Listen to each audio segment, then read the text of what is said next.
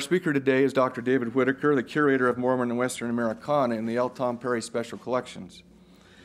Uh, he also holds a joint apart, uh, appointment in the Department of History, and he comes to the study of Mormon history with a rich spiritual and intellectual background. He earned a, a Bachelor of Arts degree at BYU in 1967 and an MA in the history of the American West at California State University at Northridge in 1973.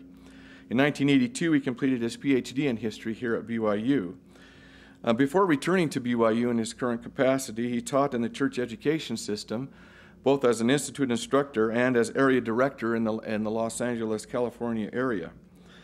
Uh, for the past 30 years or more, the history of the Latter day Saints has occupied his professional time.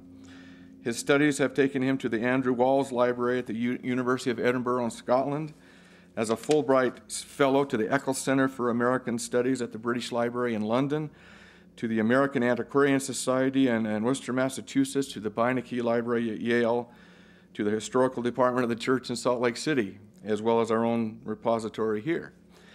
His publications include uh, seven books and at least 78 articles, book chapters, book reviews, encyclopedia entries, and bibliographies, which are of most importance to library work here. Uh, all of this on the history of the Latter day Saints, as he is published in publications like the Ensign, the Journal of Mormon History, BYU Studies, Western Historical Quarterly, among many others. Few are as well qualified to help us appreciate the life and the words of Joseph Smith. So, would you please join me in welcoming our own David Whittaker?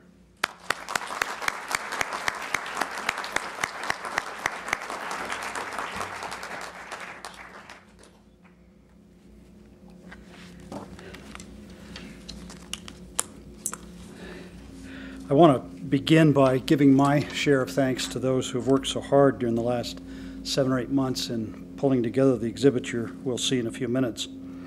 Uh, certainly, Larry Draper has been uh, a full equal partner in all of the work that we've done together as we've planned and described and prepared uh, the exhibit you'll see.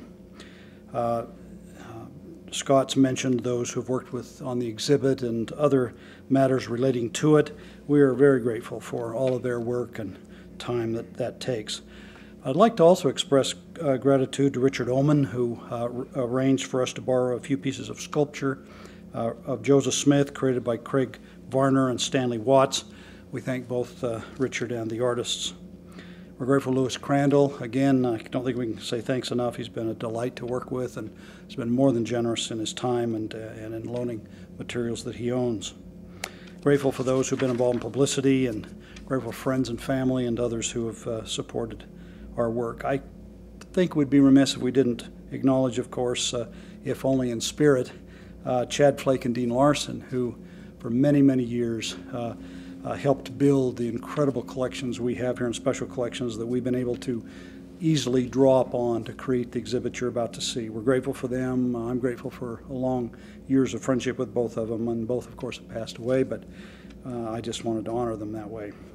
Finally, I'd like to suggest that we certainly must acknowledge the major scholars of the life and thought of Joseph Smith. Certainly, upon their work that we'll continue to build. There are a number we could mention. Certainly, uh, at the top of the list would be people like Dean Jessee, uh, whom I'm drawn on for some of the things I'll say today.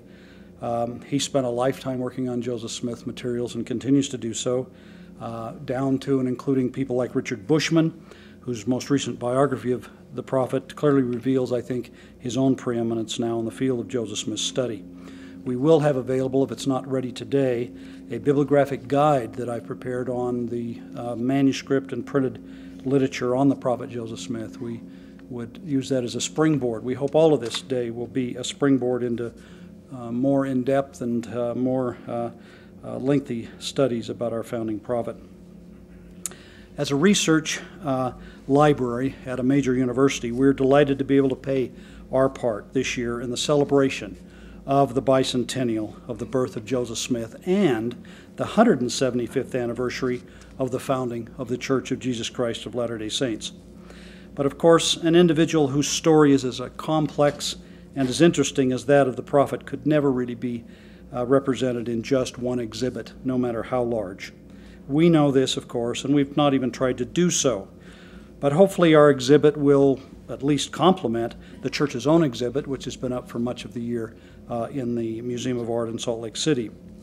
What we have tried to do is present an overview of his life by gathering some of our rare and important manuscripts and printed items to illustrate, of course, the foundational period of the church. We've woven several themes through the exhibit. Obviously, the sacred volumes of Scripture that Joseph Smith gave to the world constitute a key theme, as they were, of course, in his own life.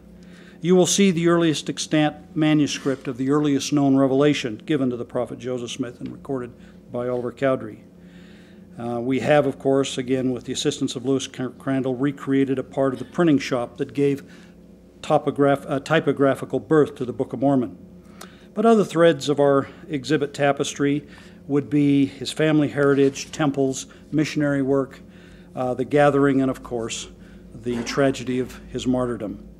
Hopefully, you will find your own threads as you experience the exhibit. The exhibit will be up through next April. We hope you'll return often.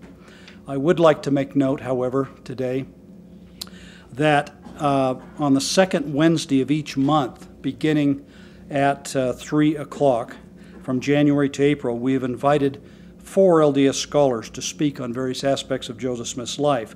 Richard L. Anderson will begin our series in, April, in uh, January, speaking about the Smith family heritage and its background to Joseph Smith's own uh, quest for religious experiences.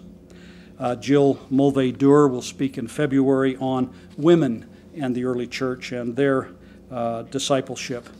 James Allen will speak the next month on Joseph Smith's presidential campaign and the role of states' rights and other such issues in Joseph's uh, discussions and letters with people like John C. Calhoun. And finally, Ronald K. Esplin will address uh, Joseph's relationship with Brigham Young and the nature of discipleship in that relationship. So, all of these are meant to complement and expand and uh, provide uh, additional depth to our exhibit on the prophet Joseph.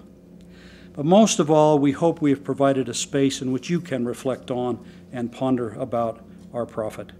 To remember, I think, is almost a sacramental thing with us Latter day Saints. While we cannot remember everything, we must not forget the important things. Like Alma, when he was counseling his son Helaman about sacred records, quote, It is wisdom that these things should be preserved for they have enlarged the memory of this people. We, at the heart of our work, hope that our work will assist you in enlarging your memory of the prophet Joseph and, beyond that, the history of the restoration itself. Such a task, we would suggest, lies at the heart of the work of the L. Tom Perry Special Collections Library here at BYU.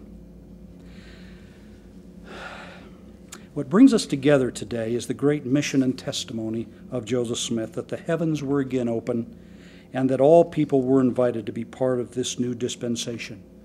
Joseph's visions, his leadership, and his faithfulness to his divine calling, all of these are at the core of our heritage and, of course, our continuing message to the world. Moroni had told young Joseph in 1823 that his name would be had for good and evil throughout the world, and twice it was hinted in the earliest revelations that he might die a violent death. In section 5, quote, Be firm in keeping the commandments wherewith I have commanded you. And if you do this, behold, I will grant unto you eternal life, even if you should be slain. In section 6, Blessed are ye if they reject your message, for they can do no more unto you than unto me. And even if they do unto you as they have done unto me, Blessed are ye, for ye shall dwell with me in glory. Often thought what internal meditation that caused in the prophet's young life as he was just getting uh, the whole business of the restoration underway. In one of the most solemn and, I think, difficult times of his own life, when many friends had come to question his calling and leadership, and when even he wondered out loud where God was when the people who had followed him were being driven during the winter of 1838 and 39 from the state of Missouri, the Spirit whispered assurances to him. This is in section 121. The ends of the earth shall inquire after thy name, and fools shall have thee in derision, and hell shall rage against thee. While the pure in heart, and the wise, and the noble, and the virtuous shall seek counsel, and authority, and blessings constantly from under thy hand. To those of us who hold steadfast to the knowledge of the gospel of Jesus Christ that he was called to restore, and of the church he established in 1830, we still seek counsel and blessings from him. How can we do this today? Surely the revelations he gave to the world are one of the most important avenues, and of course, the priesthood authority he brought to the earth is another. But what else is there? Where can we go to more fully study the life and teachings of our founding prophet? We would do well, I would suggest, to remember in our study of Joseph Smith a kind of disclaimer that Mark Twain gave readers in the preface to his autobiography written late in his life. Quote, What a wee part of a person's life are his acts and his words. His real life is led in his head and is not and is known to none but himself. All day long and every day the mill of his brain is grinding, and his thoughts, not those other things, are his history. His acts and his words are merely the visible thin crust of his world, with its scattered snow summits and its vacant wastes of water, and they are so trifling a part of his bulk, a mere skin enveloping it.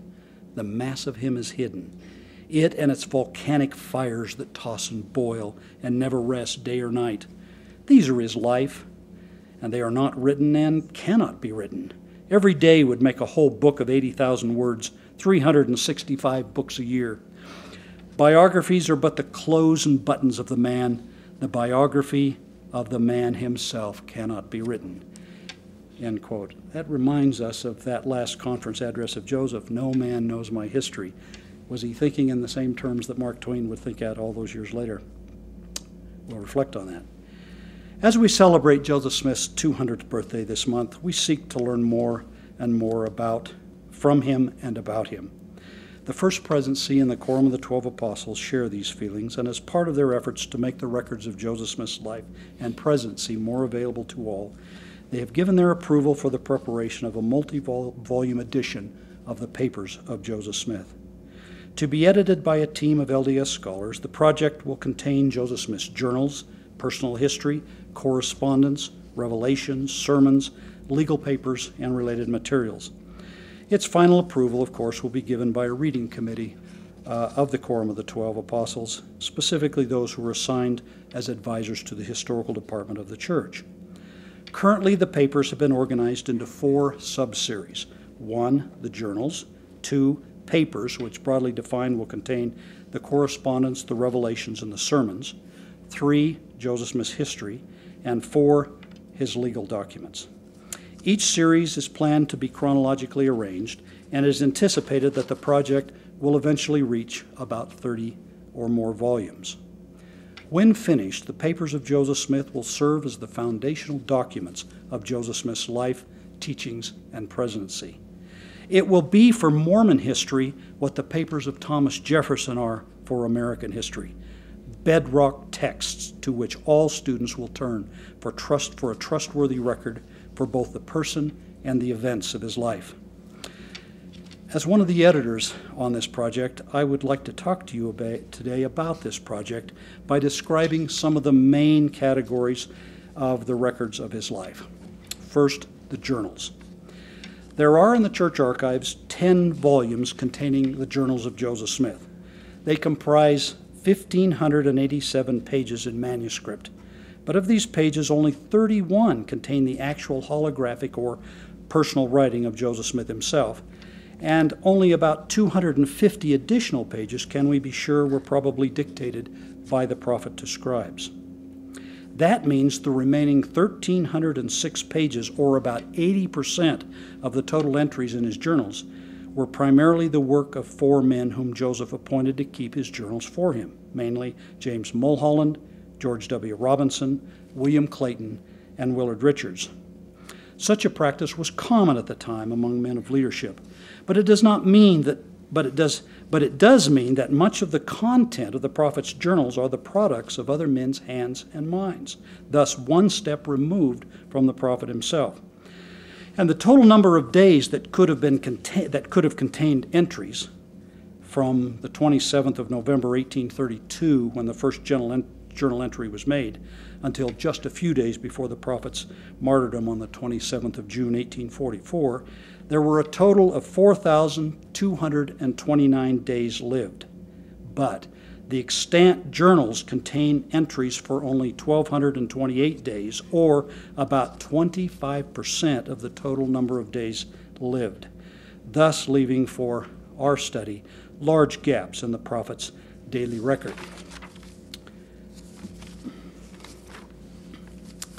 Uh, a subject we'll talk about further.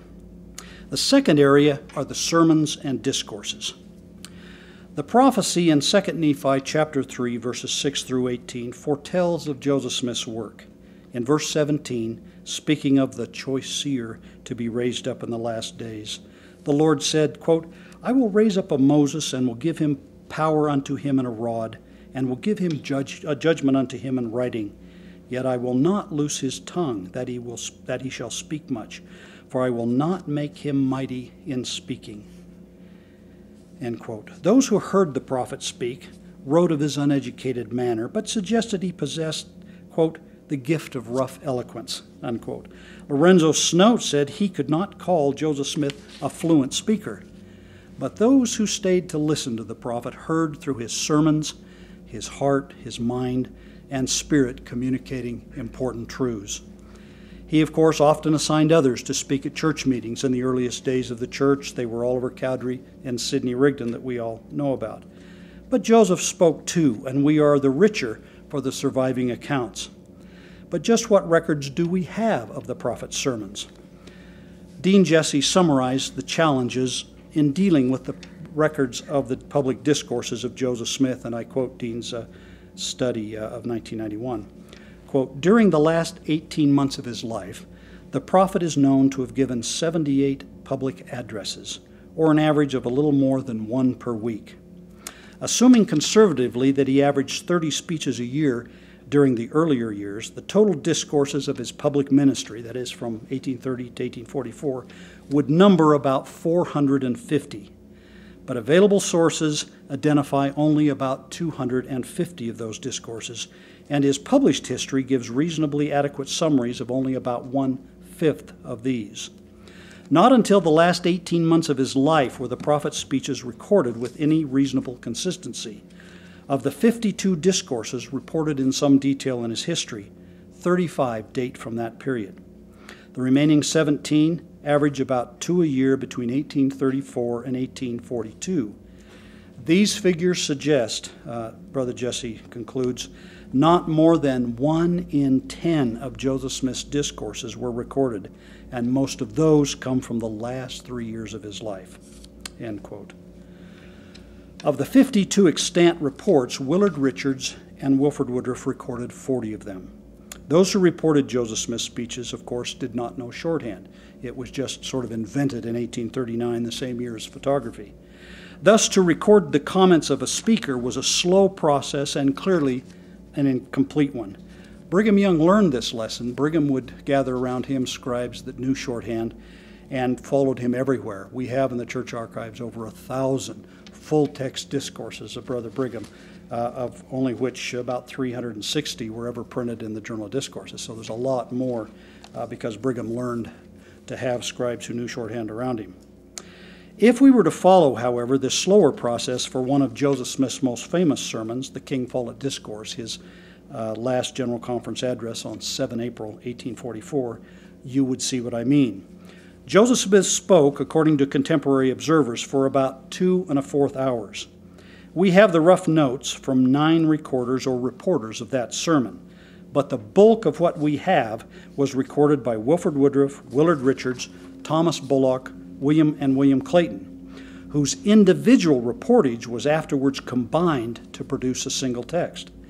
But this even but even this probably only gives us about one half of what the prophet himself said in his last general conference address. We're grateful for that, but boy, do we wish we had more. We wish others had recorded more details of what they tell us they did hear the prophet talking about. For example, in a letter to his wife Sally, William W. Phelps wrote on the 2nd of June of 1835 of hearing the prophet speak in Kirtland, Ohio, for three and a half hours on the topic, This is my beloved Son, hear ye him. No doubt on the first vision. But Phelps didn't write one single word of what the prophet said. Parley P. Pratt, another contemporary and, and of course, apostle, left two tantalizing accounts.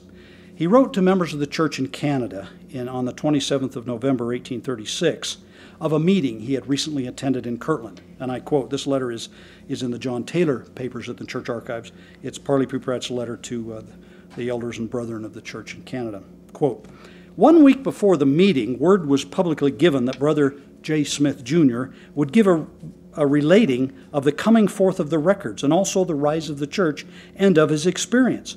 Accordingly, a vast concourse assembled at the early hour. Every seat was crowded, and four or five hundred people stood up in the aisles. Brother Smith gave the history of these things, relating many particularly of the manner of his first visions, etc. Spirit and power of God was upon him and bearing testimony, insomuch that many, if not most of the congregation, was in tears. As for myself, I can say that all the reasonings and uncertainty and all the conclusions drawn from the writings of others, however great in themselves, dwindle into insignificance when compared with the living testimony, when your eyes and your ears hear from the living oracles of God. Unquote. But he didn't give us any details. Deeply impacted uh, Elder Pratt, but we don't have the details. Three years later, when he, uh, Orson Pratt, was with uh, was with uh, Joseph Smith in the Philadelphia area. Orson wrote his brother and says, Parley, you've got to get down here. Joseph is teaching wonderful things. Parley dropped everything in New York, came south. Parley wrote in his autobiography, he heard Joseph in Philadelphia in December of 1830, quote, he spoke in great power, bearing testimony of the visions he had seen, the ministering of angels which he enjoyed, and how he had found the plates of the Book of Mormon and translated them by the gift and power of God. The entire congregation was astounded electrified, a new word entering American vocabulary, as it were, and overwhelmed with the sense of truth and power by which he spoke and the wonders which he related. Period. What did he say? We just get hints. All of these examples, we get hints, we get topics, but unfortunately, we were left without details. We have on display in the exhibit you're going to see the notebook that we own of uh, the notebook journal of William Patterson McIntire, a tailor in Nauvoo who, in fact, measured Joseph Smith and others for suits, which he records in his notebooks we have. But also, as a humble tailor, he went to hear Joseph Smith talk and wrote what he heard. So we're, we have a few of those kinds of records where just members of the church who love the prophet went and wrote down what they heard him say. Often it's in longhand and we don't get it all, but you'll see his journal open to one such sermon he heard Joseph Smith give in 1840. There are, of course, other indirect ways of getting at the prophet's sermons. Uh, for example, when Joseph went to Washington, D.C. in 1839 and 40 to seek redress for the Missouri losses and to meet with President, the U.S. President Martin Van Buren, the scribe assigned to keep Joseph Smith's journal failed to do so. So we don't have a good record in Joseph's own uh, journal of that. But we have found several contemporary newspaper reports that report Joseph Smith preaching there, and we also have, of course, publications of key Latter day Saints who heard Joseph Smith speak and then went off and published a pamphlet dealing with some aspect of the prophet's life or thought.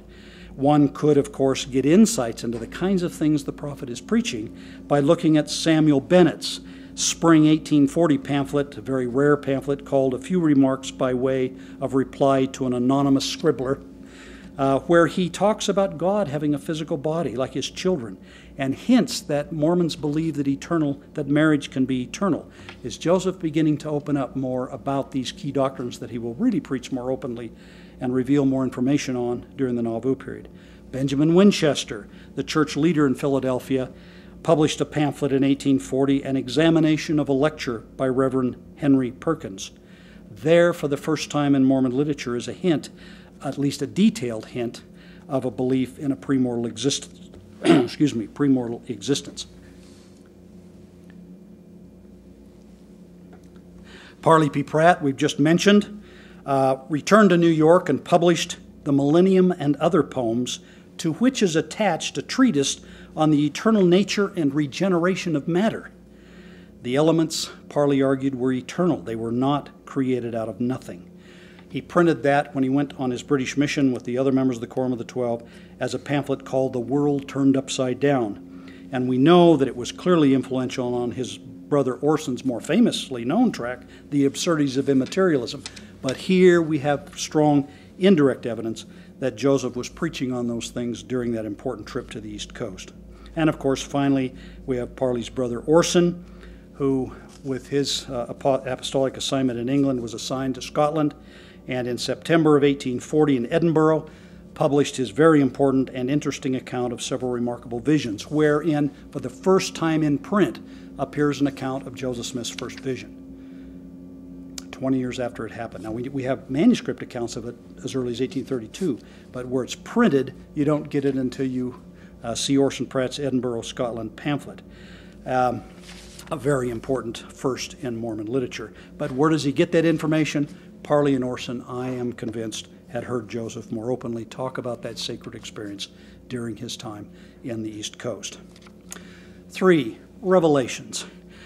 There are about a hundred extant manuscripts of Revelations received through the prophet Joseph Smith that were printed in what we know as the Doctrine and Covenants. Of course, in addition to the Book of Mormon, the Book of Moses, which of course includes material from the Book of Enoch and the Book of Adam. We also know of the Book of Abraham, as well as Joseph Smith's other revisions to the biblical text. All of those date from July 1828 to November 1843. But there are, in addition to the revelations in the Doctrine and Covenants, we now know of about 60 additional revelations, of which we have texts for about 30 of them. So the total number that we know about is about 170. Those we plan to include in the larger uh, papers of Joseph Smith. We remember uh, that in section 5, which we have the original manuscript of on display, that this generation, the Lord told the early church, shall have my word through you. And the day the church was organized, the church was told, The church shall give heed unto all his words and commandments, which he, which he shall give unto you as he receiveth them, walking in all holiness before me. Well, if we had time, we could pursue that uh, more and more, but we'll go on to number four correspondence. We know of approximately 1,500 letters written either to or from Joseph Smith that we anticipate will be included in the Joseph Smith Papers project. These letters cover the prophet's whole ministry and treat just about every conceivable subject, but few, I would suggest to you, are ordinary. Joseph's letters, when you study them, convey his strength of leadership, his prophetic mantle, his concerns over his family, as well as his people. A few, of course, were included or excerpted into the Doctrine and Covenants, but even here one has excerpts, and from my point of view, some of the best material might have been left out when Orson Pratt included uh, uh, this particular letter in the 1876 edition of the Doctrine and Covenants. Here, of course, I speak of that magnificent Liberty Jail letter, which we know as sections 121 to 123. But the material left out includes, and it's been in the history of the church, but it's not in the Doctrine and Covenants. Should this material I'm going to quote to you should come right after verse 25 of section 122. Quote, a fanciful and a flowery and heated imagination be aware of, because the things of God are of deep import. And time and experience and careful and ponderous and solemn thoughts can only find them out. Thy mind, O man, if thou will lead a soul into salvation, must search as high as the utmost heavens, and search into and contemplate the lowest considerations of the darkest abyss, and expand up to the broad considerations of eternal of the eternal expanse he must commune with God. How much more dignified and noble are the thoughts of God than the vain imaginations of the human heart. None but fools will trifle with the souls of men. That is inspired uh, revelation, I think. There are other examples, of course, in which we will include, including some of Joseph's more private letters to Emma, his wife. Let me share a few of those, or parts of those. On the 6th of June, 1832, he wrote from Greenville, Indiana, a letter uh, to his wife. The prophet was tending to Newel K. Whitney, who had broken his leg on the return journey from Missouri to Kirtland. I think it gives insights into both the prophet's deep religious life as well as to his genuine but clearly human feelings for Emma. Quote, My situation is a very unpleasant one, although I try to be contented, the Lord assisting me. I have visited a grove which is just back of the town almost every day, which can be secluded, which I can be secluded from the eyes of any mortal. Sounds like what he did in 1820, doesn't it? And there give vent to all the feelings of my heart in meditation and prayer. I have called to mind all the past moments of my life and am left to mourn and shed tears of sorrow for my folly in suffering the adversary of my soul to have so much power over me as he has had in times past. But God is merciful and has forgiven my sins, and I rejoice that he sendeth forth the Comforter unto as many as believe and humble themselves before him. Sister Whitney wrote a letter to her husband which was very cheering, and I being unwell at the time and filled with much anxiety, it would have been very consoling to me to have received a few lines from you. But as you did not take the trouble, I will try to be contented with my lot, knowing that God is my friend, and in him I shall find comfort. I have given my life into his hands. I am prepared to go at his call. I desire to be with Christ. I count not my life dear to me, but only to do his will. And then I think he realized that maybe he had been a little tough on Emma. Please forgive my warmth of feeling and also my inability to convey my ideas in writing. Major insight. A few months later, he would write a letter to W. W. Phelps in which he would lament, quote, O Lord, deliver us in due time from the little narrow prison, almost as it were total darkness of pen, paper, and ink, and a crooked, broken, scattered, and imperfect language. You see a prophet struggling to express himself in ways that he just didn't uh, always have the ability. In 1838, he wrote another letter to Emma just at the beginning of the court of inquiry uh, he and his fellow prisoners were involved in. My dear Emma, we are prisoners in chains and under strong guard for Christ's sake and not for another cause. Although there has been things that were unbeknown to us and altogether beyond our control, that might seem to the mob to be a pretext for them to persecute us, but on examination, I think that the authorities will discover our innocence and set us free. But if this blessing cannot be obtained, I have the consolation that I am an innocent man. Let what will befall me. I received your letter, which I read over and over again. It was a sweet morsel to me. Oh God, grant that I may have the privilege of seeing once more my lovely family in the enjoyment of the sweets of liberty and social life, to press them to my bosom, kissing their lovely cheeks, would fill my heart with unspeakable gratitude. Tell the children I am alive, and trust I shall come and see them before long. Comfort their hearts all you can, and try to be comforted all you can. Oh, my affectionate Emma, I want you to remember that I am a true and faithful friend to you and the children forever. My heart is entwined around yours forever and ever. Oh, may God bless you all. Amen. His, his letters almost become prayers, don't they? A few months later, from Liberty Jail My dear Emma, I very well know your toils and sympathize with you. If God will spare my life once more to have the privilege of taking you, taking care of you, I will ease your care and endeavor to comfort your heart. I want you to take the best care of the family you can, which I believe you will do all you can. I was sorry to learn that little Frederick, Frederick was born in 1838, was sick but I trust he is well again and that you are all well. Write me a long letter and tell me all you can. And even if old Major, of course, Joseph's dog, is alive and yet what those little prattlers that cling around your neck, what they say. I must steer my bark safe, which I intend to do.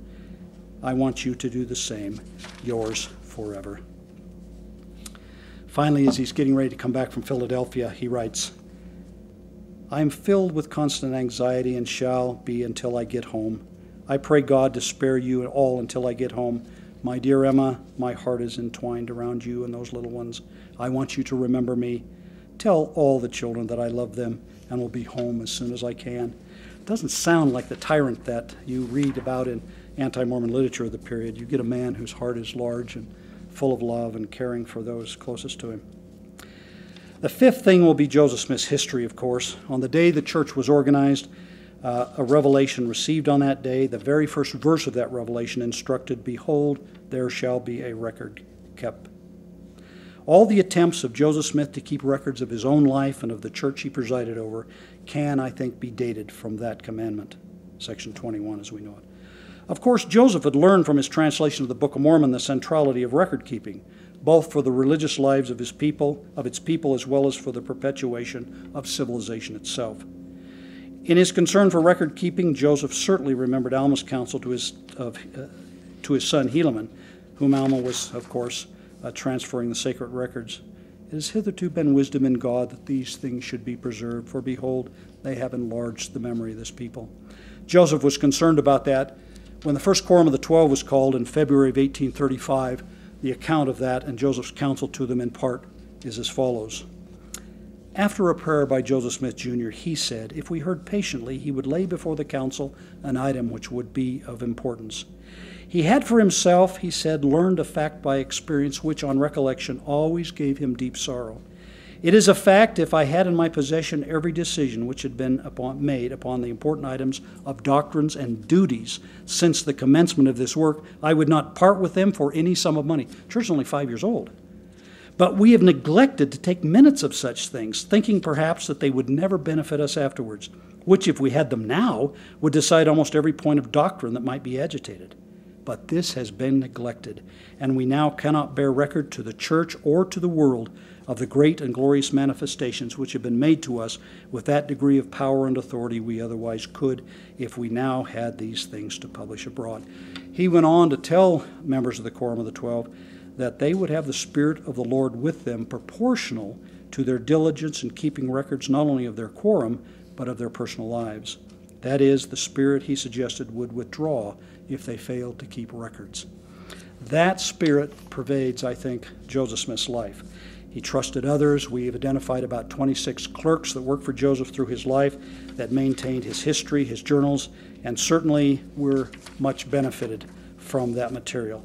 There are other records that we could talk about, records that relate to uh, histories that he had others keep and to, uh, to uh, record. He certainly uh, uh, was involved in a number of initiatives, like what is contained in Section 123 of the Doctrine and Covenants, the very end, the Liberty Jail letter. Joseph told the early saints that it was an imperative duty they not only owed each other, but to future generations to document the experiences they'd had in Missouri. And out of that grew the early histories we have, the documents, the affidavits that help us understand all the saints went through in that experience. Now, let me conclude. In his great, and as it turned out, last General Conference address, Joseph said something that should give us all pause who seek the records of his life. You don't know me. You never knew my heart. No man knows my history. I cannot tell it I shall never undertake it. I don't blame you for not believing my history. If I had not experienced what I have, I could not believe it myself. He'd actually said something close to that an entire year before. On April 6, 1843, Joseph said, If I had not actually got into this work and been called of God, I would back out. See the burdens probably bearing down on him. But I cannot back out. I have no doubt of its truth. These sound a little like Mark Twain's disclaimer I think we began with. But I'm grateful that the prophet made the attempts he did to keep institutional records and personal records of the church he founded, that he led under inspiration. I'm grateful to be part of a church that has, of course, restored and made available again those great truths to the world. I am grateful to be part of the team, a large team really, that is now preparing what we plan will be the definitive edition of the papers of Joseph Smith. I pray that we can all get better acquainted with this great prophet and be counted among those who, quote, seek counsel, authority, and blessings from under his hand, both from his living legacy, the restoration as we teach, as well as from the written records that document his life and his thought. It is, I think, the hope of the leaders of the Lee Library, and certainly all of us who have worked to prepare the exhibit on Joseph Smith, that it will further invite you to reflect on the life and legacy of our founding prophet. As President Hinckley reminds us in the very latest December issue of the Ensign, Joseph Smith remains a living presence as the church continues to grow and expand, and that we all need to continue to draw strength and guidance from the records and the revelations of our founding prophets. I bear testimony that those things matter, that those are the things we ought not to forget, and I leave you that testimony in the name of Jesus Christ, amen.